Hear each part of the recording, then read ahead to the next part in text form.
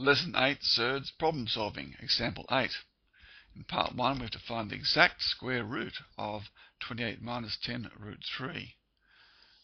Now, what we'll do, we'll let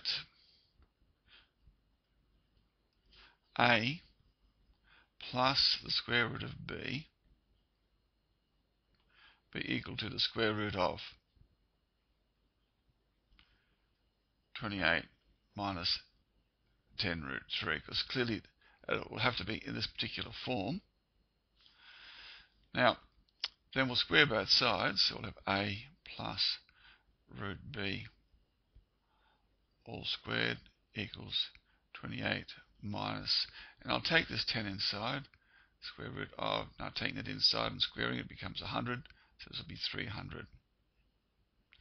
Remove the brackets here, that'll be a squared plus twice the product, 2a root b, plus root b squared is just b, equals 28 minus the square root of 300. Okay, therefore a squared plus b plus, now take this inside, square root of 4a squared b equals 28 minus square root of 300. Okay, now a squared plus b equals 28. Call that equation 1. And 4a squared b equals 300.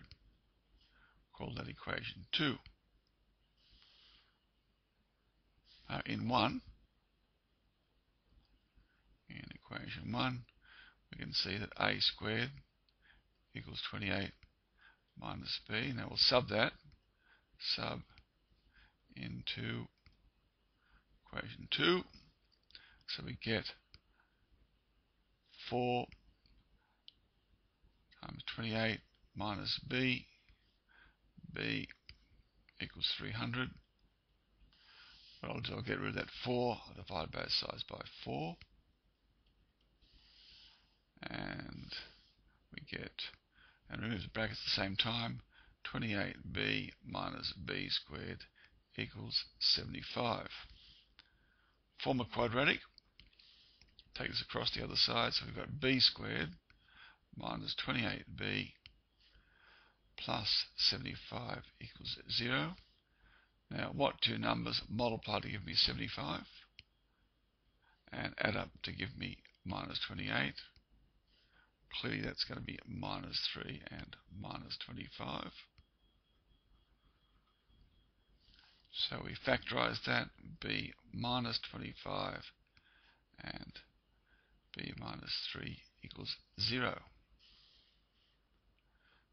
Okay, therefore, b equals 25 or b equals 3.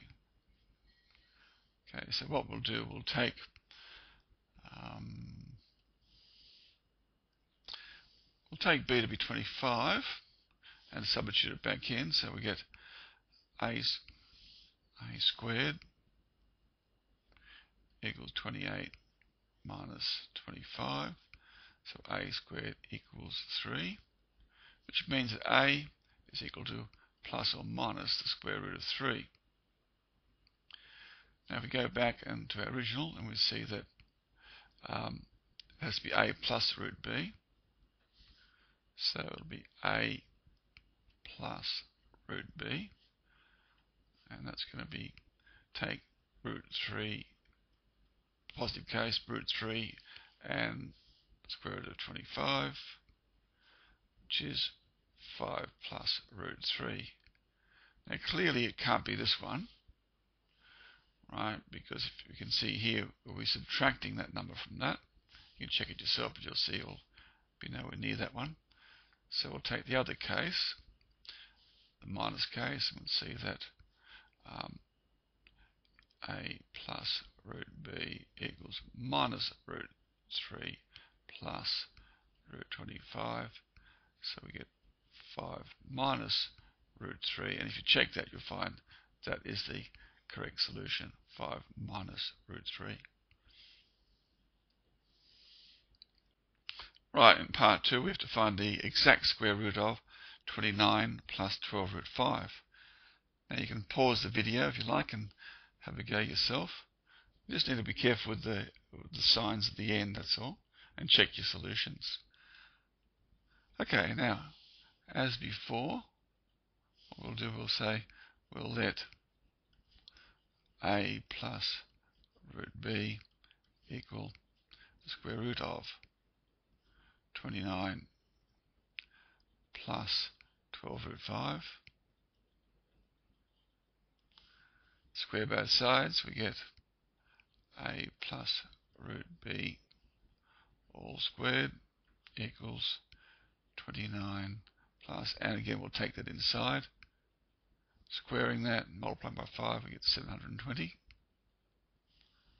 So a squared plus b plus 2a root b equals 29 plus the square root of 200, 720. Okay, so a squared plus b equals 29. Taking this inside, we can see that 4a squared b equals 720. Dividing by the 4, we get a squared b is equal to 180.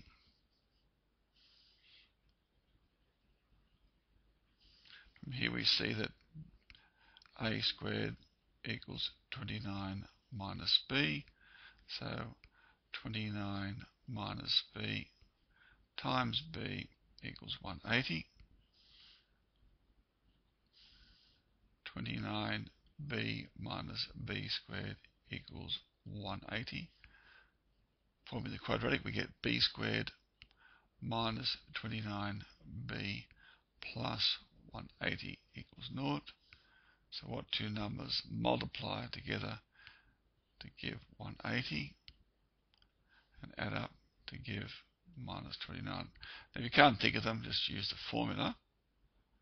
But they are, let me see, 20 minus 20 and minus 9 other ones. Okay, so it becomes b minus 20 and b minus 9 equals naught. Therefore, b equals 20, b equals 9. Now, I didn't do this before. It doesn't matter which one you go. It'll just, you, you get the same result. You just got to check your answers at the end, that's all. So let's take uh, this time b equals 9. So when b equals 9, we said a squared equals 29 minus b, 29 minus 9. So that becomes a squared equals 20, a equals plus or minus root 20. Now in this case here it's quite clear that you can't have the negative, that's plus or minus 2 root 5, okay, because got to get remember it's a plus root b, so a, so it's 2 plus root 5 plus the square root of 9, and that's going to be 3 plus 2 root 5. You can see the negative, have the negative one in there, right, um, this would be a negative result. And obviously, you've got a positive square root. So the final answer is that the square root of um, 29 plus 12 root 5, 29 plus 12 root 5 will be equal to 3 plus 2 root 5. There's your answer.